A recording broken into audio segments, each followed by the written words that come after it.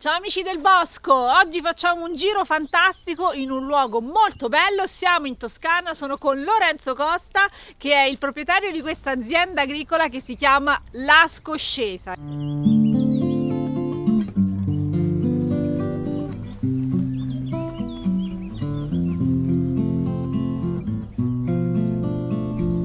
Chiama così perché sono 130 metri di dislivello dalla parte più alta alla parte più bassa. È interamente terrazzato, sono 5 km di muri a secco. È possibile coltivare nel bosco, noi è stata una cosa che abbiamo iniziato a fare fin dal primo anno per una questione di temperature estive, quindi coltiviamo d'estate. Questo qua sotto è lo spinacio del Caucaso, Ablizia tamnoides, questa qui, mi sono innamorato di questo posto il primo giorno che l'ho visto tanta roccia, pietre, roccia madre affiorante e tanto dislivello. Abbiamo detto sono 130 metri di dislivello e puoi giocare sulla gravità per sfruttare per esempio muovere l'acqua e tutto quanto. Qui abbiamo iniziato a fare questo progetto nel 2018 di recupero di un terreno marginale agricolo. Perché l'ho preso, guarda, cito Lorenzo Maggi e l'orto di Clapi, perché lui un anno fa mi fa un vocale su WhatsApp e mi dice Lore, io ci ho pensato, tu hai comprato la scoscesa perché ricorda l'Oman dove tu sei cresciuto. Io sono cresciuto all'estero da bambino. È un paese roccioso, desertico. E lui mi ha detto, io ho visto una fotografia dell'Oman, secondo me la scoscesa è uguale. Probabilmente tu hai l'imprinting dell'Oman e hai trovato quel terreno e detto, potrebbe essere che l'ho comprato per questo. La valle è lunga 4 km, è una valle secondaria e parte dalla valle di Gaiole, che è dove scorre il Massellone, e c'è questo torrente il Mulinaccio. Questa valle è talmente stretta e ripida che le ultime terrazze ci sono sono quelle che sono dopo di noi che sono sopra un ex mulino d'acqua. Il mulino d'acqua era dell'anno 1000-1100. Quelle che noi vediamo oggi sono di 200 anni fa. In mezzo ai muri spesso troviamo questa roba qui, questa è roccia madre, che è talmente alta e affiorante che la tagliavano, questa è stata tagliata per fare il muro a secco. E questa vena qua di roccia madre la troviamo anche sotto dove abbiamo gli orti in alto ed è anche sotto l'annesso agricolo, sotto la, dove era la casa, arriva fin giù al fiume. Probabilmente ci segue tutto lungo tutta la collina questa roccia madre qui. E I muri a secco fatti così sono diffusi. Li facevano così quando avevano tantissima pietra, sostanzialmente non sapevano dove metterla più. Il muretto a secco è stupendo, ha tantissimi fattori benefici, cioè nel senso tantissime cose positive, gestisce l'acqua piovana, crea microclima, ma al contempo il muretto a secco è la sua fragilità questa, perché vuol dire avere sempre manutenzione costante. Il muro è bello ed è interessante da un punto di vista di studio dei microclimi perché ti fa la massa termica, per cui noi riusciamo in certe determinate condizioni con l'esposizione giusta a coltivare a pieno campo fino a dicembre i fagiolini, perché hai tutta la massa termica del muro. Noi per esempio su in azienda non abbiamo serre, noi coltiviamo tutto a pieno campo. Cosa succede? Che tu sfrutti i microclimi e ti creano i muri, perché tutta questa massa di pietre d'estate accumula calore e te lo ributta fuori fino a dicembre inoltrato. Poi ogni volta che d'inverno ci sono giornate di sole così accumula calore, sotto ai muri c'è più umidità, perché l'umidità si condensa anche nel muro e te sotto muro trovi determinate piante che non trovi nel resto della terrazza. Quindi hai accettato una sfida particolarmente difficile perché non è semplice coltivare qua. Quali sono le difficoltà e poi però anche le potenzialità? Allora, le difficoltà sono eh, innanzitutto da un punto di vista del suolo, pH 8,1, diciamo da pH 8,4 l'orticoltura non la fai più, pH 8,1, eh, calcare attivo altissimo. Il calcare ha una particolarità, eh, inibisce l'assimilazione dei nutrienti del suolo per le piante e ispessisce le pareti cellulari, per cui le piante tipo le cucurbitacee, zucchine così, eh, prendono meno nutrienti, non crescono. I pomodori hanno la buccia molto spessa, anche i legumi, per cui devi riuscire a giocarci. Noi per esempio facciamo solo ciliegini, perché se un ciliegino è scrocchiarello ti accorgi meno e non ti dà noia. Se ti faccio un insalatario e c'è una buccia spessa non lo vorresti. Quindi le, le difficoltà iniziali sul suolo sono queste.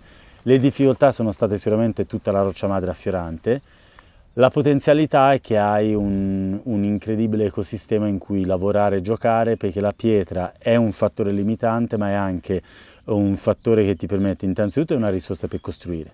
Abbiamo costruito tantissimi aiuole come questa qui accanto a me, con muretti a secco. Funziona anche da pacciamatura perché noi nelle aiuole dell'orto spesso i sassi, posso dire, un sasso come questo qua non lo togliamo perché tanto per noi questo qua è un sassetto, perché di solito lo ragioniamo su sassi molto più grandi.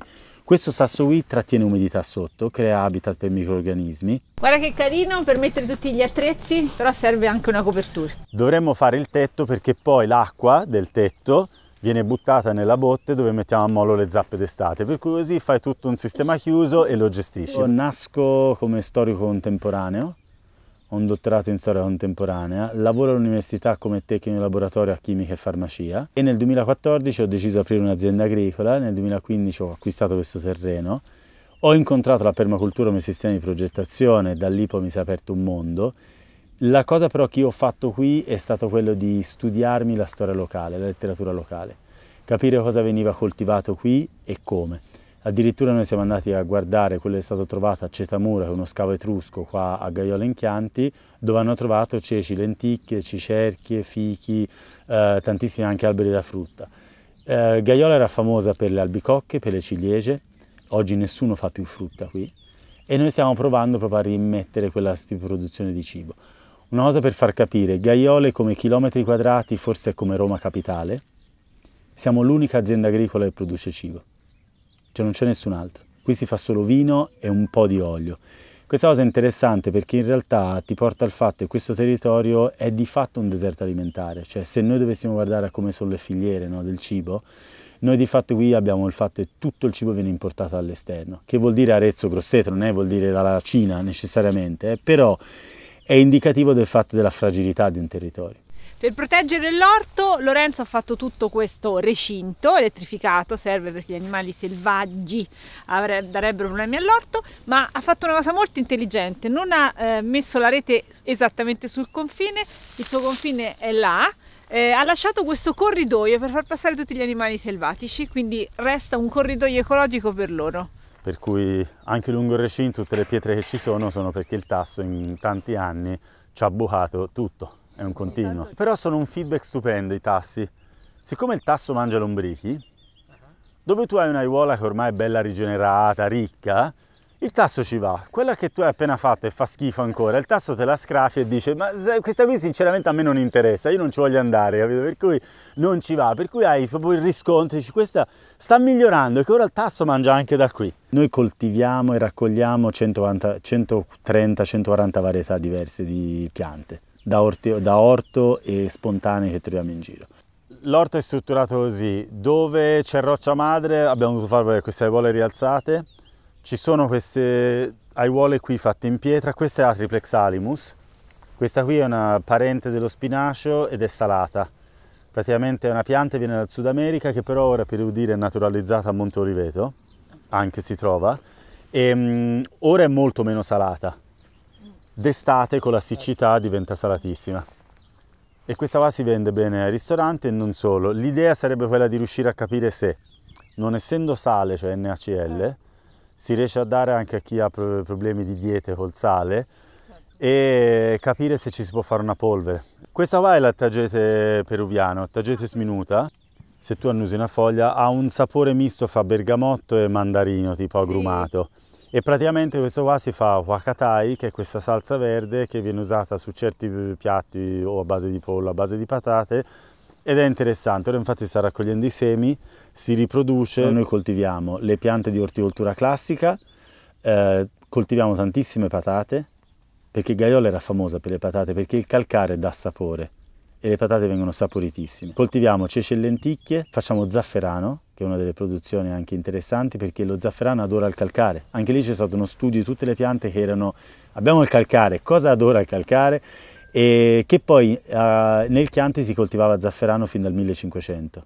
Veniva usato soprattutto per fare le tinture, per tingere le stoffe. No? Zafferano teniamo due anni, è stato due anni qui, l'abbiamo tolto, ora abbiamo messo i ceci, stanno cominciando a germinare. Perché abbiamo visto che la, la coltura, farla autunnale, qui comunque in Toscana viene bene e hai una resa comunque più alta per i ceci. Lo zafferano era qui, si è tolto dopo due anni, si è spostato qua sopra. Il eh, periodo dello zafferano ora è finito, di solito finisce verso il 15 novembre. E questo qua è una terrazza di zafferano qui e un'altra qua sopra. Si vede ancora la parte verde, c'è la pianta dello zafferano, che rimarrà eh, visibile fino a maggio, poi secca e muore e il bulbo sta andando in riproduzione. Questo, che sembra una felce, Polipodium vulgare, si raccoglie verso fine dicembre, fino a febbraio diciamo, e sa di liquirizia, è un sostituto della liquirizia, è il rizoma, eh? sa di liquirizia, si usa in pasticceria, si usa per fare la panna cotta e quindi facciamo tutta l'orticoltura classica, eh, appunto zafferano, ceci, lenticchie, tantissime patate, eh, frutti di bosco, uva spine e ribes, un po' di fragole e poi raccogliamo tantissime cose spontanee, dal, come si è visto prima, il polipodium vulgare, che è questa felce, tipo felce, che è uno sostituto della liquirizia, a tantissime altre, l'ombelico di Venere, la piantaggine. Questi piccoli frutti qui, che ora sono passati, guarda come so, sono 2 mm. Oddio, milline, piccoli. Questo qua, il sapore è quello di, una, di un chicco del melograno. Okay. Questo qua è Atriplex semibaccata. Questo è il finocchio di liquirizia, il finocchietto viola assaggio puoi anche un pezzo a Filippo. Questo è buono. È un finocchio selvatico diciamo però è scuro. E qui si è messo perché si vuole far andare assieme per farlo naturalizzare qua e che lui si riproduca sempre. Cioè queste aiuole qui sono gestite con tutta roba e in teoria dovrebbe sempre riprodursi a sé. E qui praticamente cosa c'è? qui c'è il lotto questa qua diventerà una siepe qui c'è vetiver consolida ci sono tre uve, uva da tavola, c'è un ciliegio lì all'inizio là c'è un fi, questo è un mandorlo, qua spesso sotto gli alberi da frutto vedi queste pietre, perché sotto qua io quando trovo animali morti per strada li prendo e li sotterro. Qua c'è un istrice, là sotto un cercis di qua, un po' più avanti c'è una martora, poi in altri c'è una ghiandaia. Io dove cioè, faccio una buca e sotterro. L'unico problema è metto le pietre perché poi la volpe arriva e dice ah bello c'è una carcassa. Qui di solito facciamo fiori eduli, quelli sono tutte senapi asiatiche come erano là in quella aiuola. Questo è un esperimento un barbabiete, le messe molto fitte, vengono molto più piccole. Vediamo un attimo come vengono. E ora stiamo facendo queste aiuole qua. Io qua riesco a raccogliere e stessa cosa qua hai tutta questa aiuola qui e poi la gira se ne farà un'altra lassù. Là devo fare il muretto più alto, se no c'è meno suolo che là c'è roccia madre. Però in questo modo qua noi abbiamo recuperato dall'anno scorso quasi 60 metri di lineari di aiuole che abbiamo tolto dall'orto. Qui riusciamo a fare tutta roba che comunque magari ha bisogno di un po' più di attenzione, la devi annaffiare tutti i giorni, la devi guardare. Poi la cosa che a me piace tanto è che sono sotto le querce. Per cui noi tagliamo i rami delle querce in modo che entri il sole però sono protette per di se viene la grandine, perché comunque c'è la fronda delle querce sopra. Io poi appena arriva il momento che sono un po' più libero inizio a fare muretti, per cui... No, diciamo che sfrutti la risorsa base di questo luogo. Quello hai e quello usi. Infatti ma io non ho pietre e allora farai qualcos'altro. Eh, io, io, ho pietre. È bellissimo, però non avrebbe senso che io andassi a comprare le pietre. No, no, no, no. Ma sai quante volte le persone mi chiamano e dicono, ah ma anch'io voglio dei terrazzamenti. Prima domanda che faccio sempre, hai pietre? No. E allora no. No! No! Costruiamo questi spazi che sono dei, dei, delle aiuole marginali che sfruttano e l'ombra delle querce o degli alberi e la fertilità del bosco, ma vengono coltivate con piante che sono trattate come piante da orto. Diciamo. Questo qua è mm, Oenotera biennis. Questa qui praticamente fa una radice che io non ho mai assaggiato, però fa una radice lunga, diciamo fittonante. Dice se la lessi, la fai al vapore, sa di prosciutto crudo. Addirittura. Infatti dice si chiami lo jambon de paysan, che sarebbe il prosciutto dei contadini. Ed era mangiata nel 600-700 in Francia e in Germania. Noi non diserbiamo mai, non puliamo i camminamenti. Uno perché d'estate mi sono reso conto metà della roba che cresce è commestibile e la vendo. Per cui perché dovrei levarla? Sono ore di lavoro mie in più è tutta roba che posso vendere. Qua nel, nel, um, quello che succede nelle aiuole invece, per cui tu hai il camminamento nelle aiuola, moltissime sono insalatine selvatiche, sono cicorie e cose uguali. Per cui qua per dire, uh, non avevamo, avevamo seminato delle cime di rapa, le abbiamo già raccolte, quello che voi vedete sono tutte insalatine che possiamo raccogliere e vendere, e quindi sono commestibili. Poi quello che succede è che spesso noi lasciamo andare assieme la cultura precedente. Questa è bietola, che a me è ricresciuta qui. Io ho un altro raccolto in mezzo all'orto e ne importa, cioè perché devo mettermi a fare mille cose e lavorare? Per cui diciamo che spesso ci ritroviamo con piante di bietola miste a verze, a cappucce, robe varie, però alla fine va bene così. E in più la cosa buona è che tieni il suolo coperto. D'inverno è bello avere le, le erbe che crescono per un motivo, Perché loro ora sono piccoline, a gennaio e febbraio sono alte e ti coprono le verdure che tu stai coltivando. Noi l'anno scorso avevamo a dicembre le scarole prendevano le gelate. A febbraio, siccome erano coperte da erbe selvatiche, erano coperte, non avevi TNT e non ti gelavano più. Perché comunque ha una temperatura diversa con tutte le erbe alte. Per cui dico, ma perché bisogna mettersi qua a allevare? Quella è piantaggine, per esempio. Questa qui, commestibile, si vende ai ristoranti. Porcino dei poveri sa di fungo. Questa è la piantaggine lanceolata e quello che sa più di fungo è lo stelo con i fiori. Questa qua ci fa il risotto, ci fa i polpette e per dire, nessun ristorante l'aveva in menù, siamo riusciti a fargli un ricettario, trovargli tutte le ricette di cose che potevi usare e praticamente ora riusciamo a raccoglierla e a venderla. Questa qui in teoria uno arriva, te la, te la leva perché dice ah devo tagliare, devo pulire il camminamento. E no. Questo è uno degli orti di Lorenzo, siamo in inverno e quindi ci sono tantissime insalate e anche dei bei finocchi.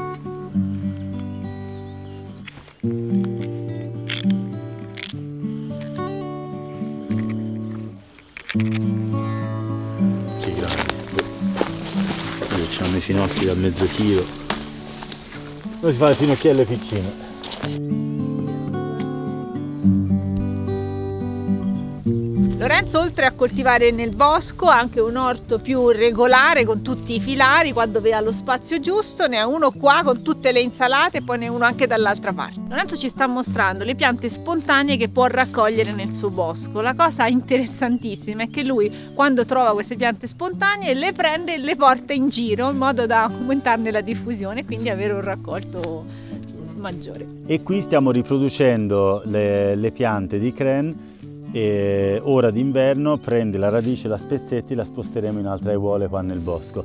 E qua siamo sotto al primo bacino, che è qua sopra, e qui sotto sta iniziando a propagarsi l'agliaria petiolata, ve le dicevo quella brassia e sa di aglio, perché io anni fa, io prendo semi e li butto a giro, poi vediamo cosa nasce, infatti dopo tre anni iniziano a nascerti le piante. E cresce sotto le rocce dove c'è umidità, questo è l'ombelico di Venere, questo è commestibile. Quindi questo qui che avevo a casa mia lo sto trasferendo qua e riesco ad avere un raccolto anche qui dove magari non l'avrei avuto. Questo è un impianto di ribe su Vaspina che si è messo qui perché è sulle curve di livello, per cui le aiuole sono tutte fatte sulle curve di livello. Il ribes è qua un po' più all'ombra, l'uvaspina è laggiù al sole, più che altro perché d'estate hanno il sole più alto e prendono il sole per bene, l'esposizione c'è.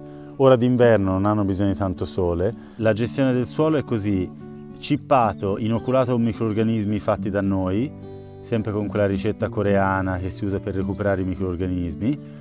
Sotto ci sono gli steli delle lenticchie nostre e sotto ancora la lana e l'umidità sta cambiando, tant'è vero che qui cresce questa pianta qua che è l'agliaria petiolata, che è questa brassica che sa di aglio, che si chiama garlic mustard, che praticamente se ci fai un pesto la puoi assaggiare, la assaggi cruda, sa di aglio ed è parecchio buona. Questa è arrivata con le infiltrazioni d'acqua, cioè ha migliorato. Sì, cioè col tempo è arrivata qui perché comunque la gestione si fa del suolo perché prima questa qui non cresceva, cresceva proprio lunghi fiumi. La rigenerazione l'ho rivista nelle aiuole dell'orto perché noi il primo anno avevamo tre lombrichi per metro quadrato e ora siamo sui 40-60 per metro quadrato diciamo, varia un po' dalle stagioni e tutto, quando magari lavori il terreno, però siamo sui 40-60 lombrichi. Quindi già quello per me è il feedback migliore perché comunque il lombrico si viene a mangiare qui, lo vedi, si nutre qua, scava tunnel in questo suolo perché è ben rigenerato. E vediamo sempre più funghi nell'orto saprofiti che diciamo eh, decompongono la materia organica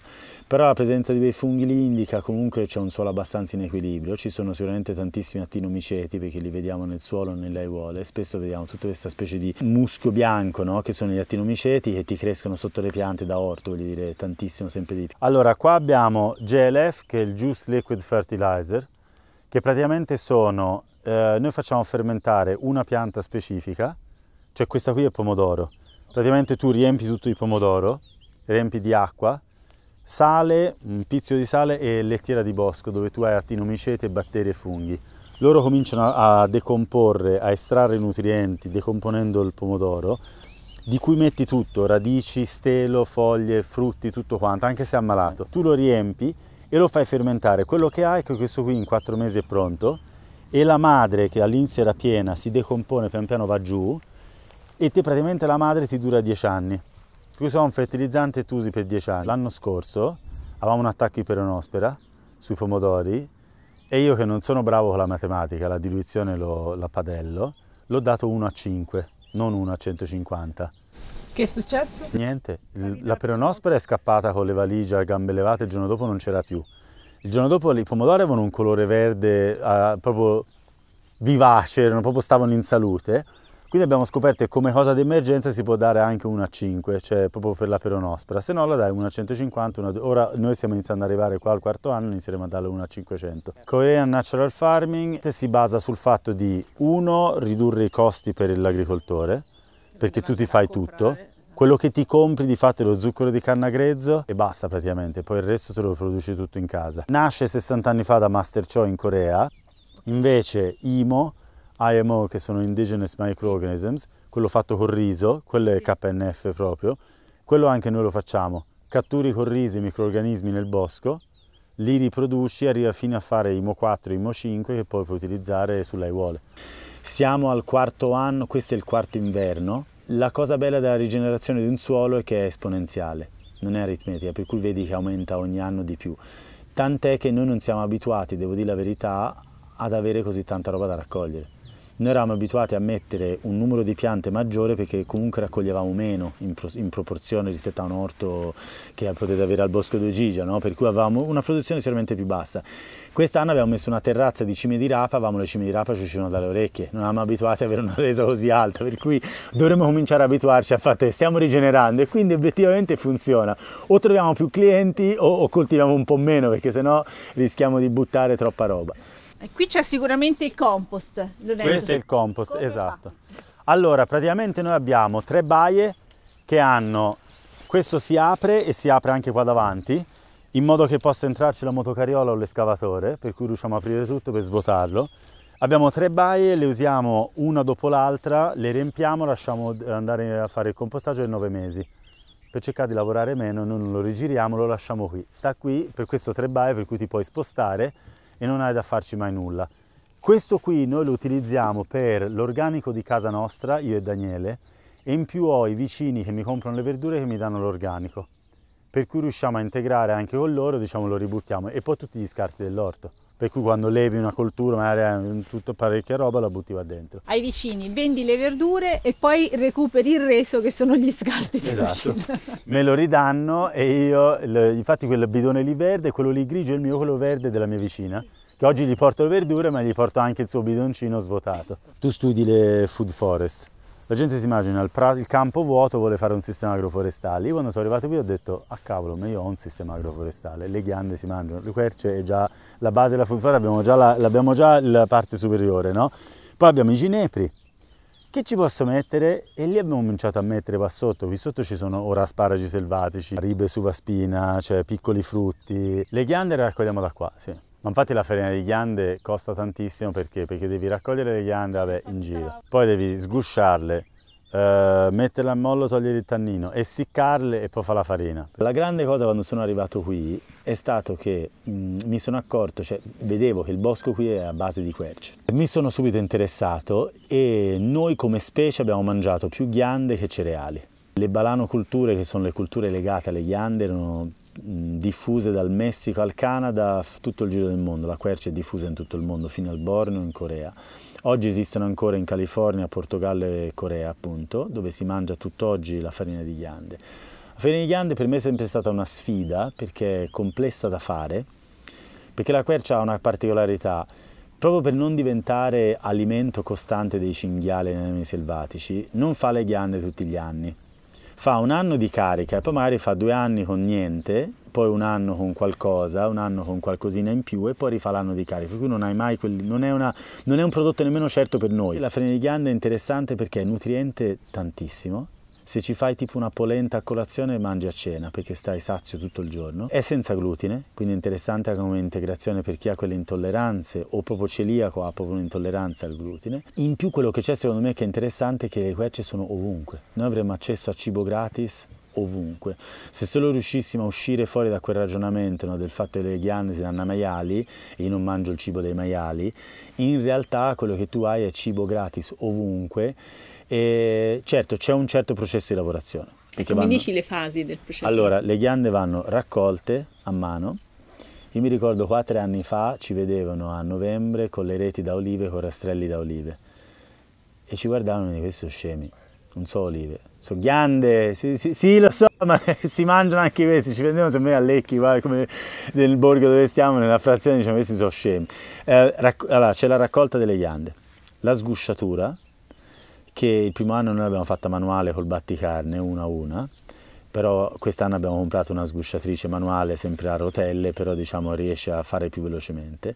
Poi c'è il lavaggio per togliere il tannino, e lì dipende dal tipo di ghiande, ci sono ghiande più tanniniche o meno tanniniche, ci sono delle varietà anche dolci per dire. Poi c'è l'essiccazione, una volta essiccato di solito puoi tenere le ghiande essiccate per due anni e al momento fai la farina. La cosa importante di come si fa la farina, non si usa una macina a pietra, perché la pietra si scalda e le ghiande sono molto oleaginose e quindi si irrancidisce subito la farina perché scaldi l'olio e quindi si rovina il prodotto. Noi abbiamo comprato un, um, una macina per spezie in acciaio, oppure se avete per esempio un macina da cucina tipo il bimbi con la, la, macina turbo riuscite a far con quello perché deve essere molto veloce. Noi questo macina a spezie in 15 secondi viene la farina, quindi è in acciaio, non scalda e riesce a produrla velocissimamente. E quello è importante perché sennò rovini il prodotto.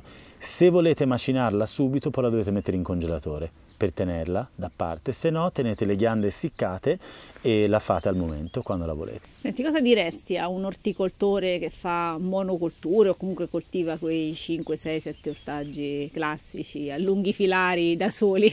Direi che la bellezza di un ecosistema diversificato è incredibile. Abbiamo 16 produzioni diverse, se divido orticoltura, classica e altre cose. Non produciamo tanto di ogni cosa, ma produciamo appunto 16 cose. Quando l'anno scorso a noi per esempio le olive non c'erano, non si è fatto l'olio, abbiamo sopperito con un'altra produzione. Abbiamo avuto una produzione ingente di zafferano per esempio. Quest'anno abbiamo, avuto, abbiamo perso la coltura di patate perché stava troppo calda a maggio, le piante sono morte. Quest'anno, ora d'inverno, stiamo facendo la farina di ghiande più sei diversificato, più sei resiliente. Hai la possibilità di sopperire a una coltura, a una produzione che ti viene meno per le condizioni climatiche che sono ormai abbastanza erratiche, riesci a trovare la possibilità di riequilibrare, quello sì. Per cui consiglierei di ragionare sul fatto di um, aumentare la diversità e poi osservare perché spesso quello che noi togliamo dai camminamenti, dalle aiuole dell'orto è commestibile. Per cui perché dovremmo perdere tempo a diserbare diciamo, manualmente quando metà di quella roba possiamo, che diserbiamo manualmente la potremmo raccogliere e mangiare? L'esperienza di Lorenzo a me sembra veramente interessante, quindi merita un grande like, poi seguite Lorenzo anche un canale su Instagram. Instagram. Sì. Lorenzo Costa. Sto qua sotto all'ulivo. Ciao. Ciao.